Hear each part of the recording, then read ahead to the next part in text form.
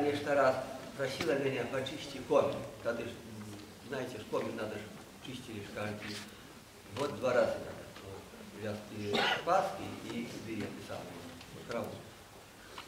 Вот я говорю, баб, если мне спеешь, то я говорю, ты сам. Потише тогда комин. Они говорили, на отец теперь хотите нас распеть. Кто только сделал. Ну, таки набрал, ну, вже там ну, другий голос брав, я, я сидів.